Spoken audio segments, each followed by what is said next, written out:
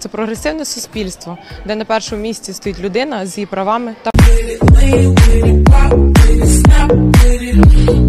та